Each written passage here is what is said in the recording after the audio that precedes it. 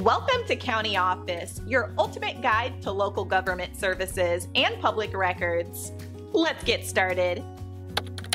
How to become a fingerprint technician. Have you ever wondered how fingerprint technicians play a key role in solving crimes? If you are interested in this career path, let's break down the steps to become a fingerprint technician.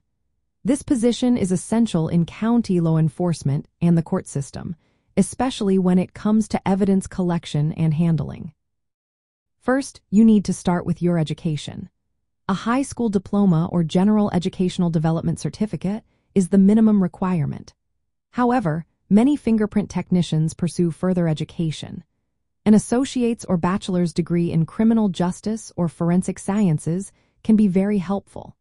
Make sure your studies include relevant courses like biology and chemistry, as they will provide a solid foundation for your work. Next, obtaining certification is an important step. You should aim for certification from the International Association for Identification. This certification is crucial for handling sensitive information and demonstrates your commitment to the field. Gaining practical experience is also vital.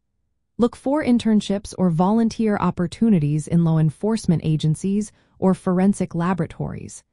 This hands-on experience will give you a better understanding of fingerprint collection techniques and the overall process. Now, let's talk about the skills you will need. As a fingerprint technician, you will learn how to collect fingerprints from various sources, including crime scenes and individuals needing background checks. You will also need to understand how to process these fingerprints into large digital databases. Analyzing fingerprint patterns is another key aspect of the job.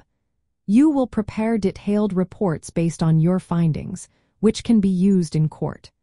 Being able to testify as an expert witness is also part of the role, so you should be ready to present your analysis clearly and confidently. When you are ready to apply for jobs, Focus on positions within law enforcement agencies or federal organizations. Be prepared for a thorough background check, which will include fingerprinting to confirm your identity. In the context of county law enforcement and the court interface, fingerprint technicians play a vital role. Their work ensures that fingerprints are accurately collected and analyzed, which aids in investigations and legal proceedings. By following these steps, you can embark on a rewarding career as a fingerprint technician, contributing to the justice system and public safety.